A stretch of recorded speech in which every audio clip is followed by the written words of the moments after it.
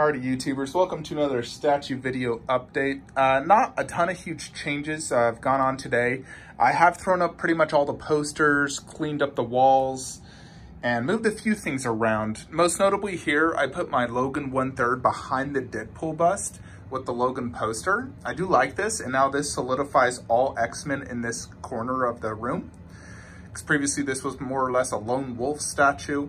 And I have always liked it next to this Deadpool bus. I kind of feel like they go well together. And I like it next to the poster. So I think I'll keep this like that.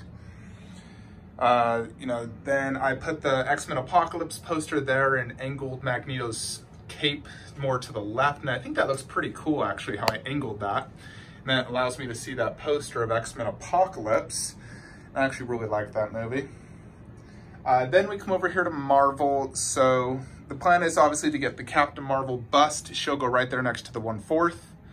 And then we'll put Thor, Iron Man, Iron Man bust. I put the Mondo poster there. That poster there, so you can't have something too low. So you got the Thanos, Thanos. There's the Thanos on Throne. Exclusive art print right there. I put art prints also inside each of these cubes. Uh, you know, Guardians of the Galaxy, I just put Age of Ultron and Infinity War. They're both in that. Here, I'm going to do Widow and Hawkeye, and I like this. A buddy gave me an idea of that. You know, they're basically partners in crime. So I did that. And then I did the Iron Man Mark 42 and Iron Patriot there, and I think that looks pretty good together like that. I got Thanos here, and I put that poster there, which previously was on the wall, but it wouldn't fit anymore, so I did that. And then I got the Infinity Gauntlet, a comic book, Red Skull poster, Loki, Ultron. So basically all like that. I might connect the lighting for the Infinity Gauntlet to my system. Uh, just have to basically move that shelf out, connect it, run the wire over to my system. I just need to check and make sure I have a plug. I know there is at least a plug to plug it in, but I'm not sure if I can connect it to my system, although I'm sure I could figure it out. Here's one dilemma I have. I mean, I think these look good here, yes, but I think there's better options. Uh, I'm trying to think if if I move these into my Transformers room, so all Transformer statues were together, then obviously I could return vs. Skullcrawler and potentially put the T-Rex in blue in this setup somehow. Uh, that's a possibility. Uh, you know, and then next to the Raptor bust, I think that'd look really cool. Uh, so I went ahead and A, removed Alita here, put him there. That's empty for now, that's empty for now. Uh, that, that will change. Uh, here's what I'm doing so far right now with the 110. So let me get my lighting real quickly and do a quick span of the room. So I'm getting a Justice League Mondo poster for that instead of the Shazam. Uh, picked it up off eBay super cheap. So Wonder Woman, Hell Hath No Fury, art print right there with the sword, covered the wires. I went ahead and put Alita right there with Ghost in the Shell. Uh, so basically underneath my DC is all random movies till right there. And then we got the Underworld, of course, one-fourth setup like that, and I like that. Um, and so I'm trying to order the Lycan Marcus, get them, of course. Uh, still working with the retailers and getting it. They're not being very responsive. In general, most retailers I've had lots of issues with lately where communication really lacks and it's really annoying. It Makes me not want to do business with them. But sometimes you have no options. You just have to deal with bad customer service. But Lycan, Marcus. Marcus wings will probably go behind Wonder Woman a little bit, uh, which is fine. And then I put just my Blu-rays right there for now. I might just leave them there. I can still easily grab them. Got the Underworld there, the Pendant of Lucian, and then I know the Lycan and Marcus come with two Underworld plaques. I'll put one right there and one right there. And right here, I could either do A, a large poster, or B, like an underworld prop like the Selene Stars. Uh, could even do a small poster and the Selene Stars. I do plan to get the Predator, Fugitive Predator wrist blade and put it on that little wall stand.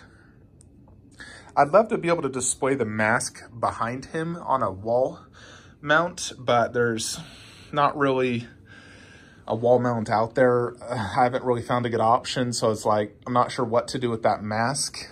I've even thought of just returning Splinter to the other room to fill the spot and just putting the mask in the shelf raised and then just on the right there, the mask, and then lower him. I think that could probably look pretty cool. Uh, so I might consider that, uh, you know, Splinter fit fine in the other room. I didn't mind it at all. So here's the one idea I have, and let me know your thoughts on this. So let's say I did move Transformers to my gym room, and I'll show you where at. And I move these two out. It will be a hard fit to fit these over on those Stuvas. I mean, I probably could just do these two and keep Kong in here, actually. That would fit fine. So let's say I put these two in another room. I could do one-tenth scales on this table, the entire endgame battle. So that would not include Infinity War, the Black Order, or Vormir, which I'd have all in there with backdrops for all three. So I'd have the Black Order right there, Vormir right there, backdrops on all three. So one-tenths in there, and the entire endgame battle in the middle, and keep Hulkbuster right there that's a thought. And I think, you know, I did put the one tenths on this table and it looked really cool having them all there in the middle of the room. You can see them really good. So I did like it for sure. Plus, you know, the T-Rex does cover the little TV when I'm leaning back. So the one tenths are a lot smaller. Right now, this is what I am doing until I can, you know, move these guys. I was going to do Thor and Iron Man versus Thanos Black Order with General Outrider, and then basically all the other ones in these glass shelves. So you got this setup, which looks cool. And I was thinking, you know, what if I just did them in their each individual shelves? Obviously, I can add some more in there when Pepper Potts and them come. You know, in pairs, basically. Uh, these guys are a little too big to fit in those glass shelves down there. Even in a DTOL, that freaking Falcon's too big. So I was like, putting it right here for now. Uh, in here, I put Groot, Spider-Man, that's just empty. Put Alien and that. I don't know about having the one-tenths right there. It looks okay. Not horrible by any means. It just, God, the Falcon is too big to go in like these glass shelves. Same with uh, Black Panther, too big. I really would like to put them right there. Even the color of that coffee table matches the bases better than like a white base, so that kind of works better. So I really would like to do that, having all the one tenths right there, and then just my three dioramas with the backdrops under the television. I'd even install lighting underneath there eventually, because uh, right now the lighting does not cover anything under there. So I am thinking of potentially moving these two in there where Transformers are at. I guess I'd just leave Kong vs. Skullcrawler over there don't really have an option. Let me show you in this room how it would work if I was to move it. I still have lots of boxes in here for the statues I haven't sold, so this room's really a mess right now. Like that's the backdrop for Endgame and Vormir. These are statues I'm selling, so just got the boxes ready, so the moment the person pays, I gotta box it up, ship it. So here's my thoughts. I can angle this bench the other way, like this. So when I'm like benching or shoulder press or whatever, my arms would be right here instead and my legs are over there. That's no big problem at all. And then I was thinking I could put a 50, 48 inch wide stuva right there. So keep in mind behind that curtain is spare statue parts. So I may go to that every now and then just when I want to switch a part. Could be once a month, could be every six months. Uh, it wouldn't be too often. So what that means is if the statue part is at the bottom, I would have to move the shelf carefully to get to those statue parts. If it's up top, I could simply reach over, no problem. So that's one problem, doing a shelf right there. It will stick out to about right there, where that weight is, coming out, like from right it there when it hits to about right there and it actually come to about right there as well. So think about from that mat touching that shelf, it actually come to about right there. So cut off Kintaro. So what I'd do is I'd put Kintaro inside the shelf right there. And it'd be two shelves. So then I'd put Motaro next to them.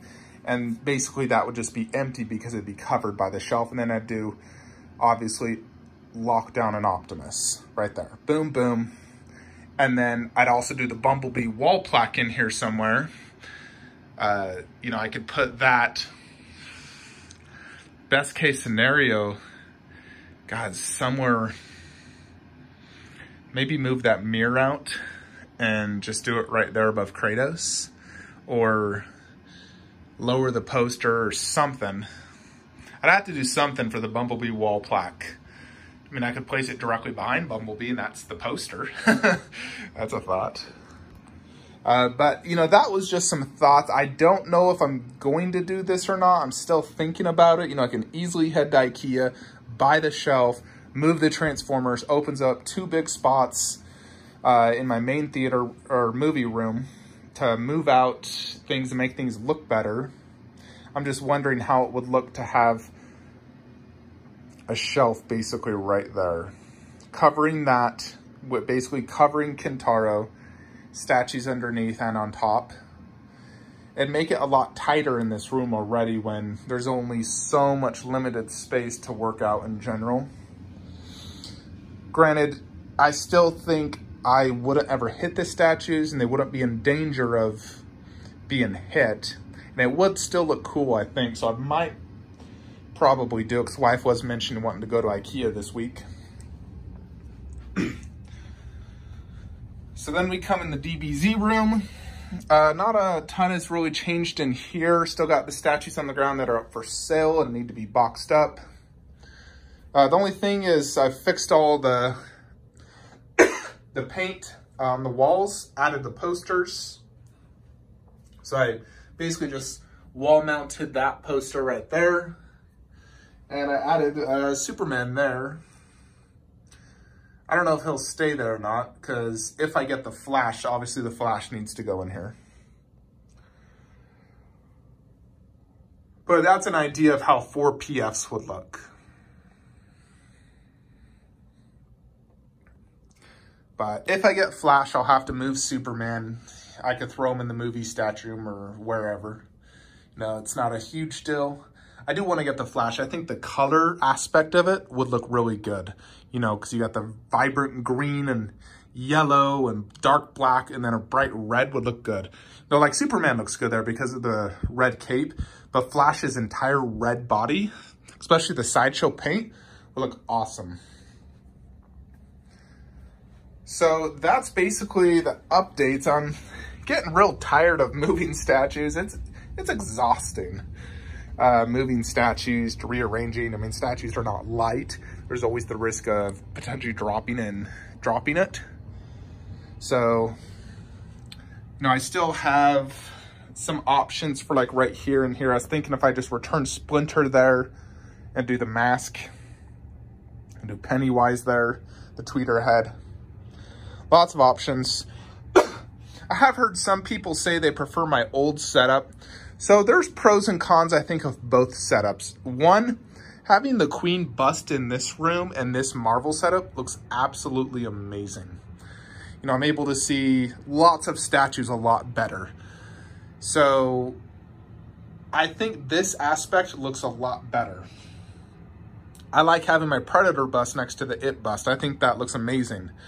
I think Wonder Woman half scale is better because when I'm sitting down, I'm able to see her better. Before, I could only see her when I was standing in front of her, not sitting down on my couch. So I can see statues a lot better. There's some areas I'm still not happy with, like I said, the 1 10th scales. And I'm pretty confident I'm going to move these Transformers out and just have no Transformers in here. Just in the other room is a dedicated Transformer room.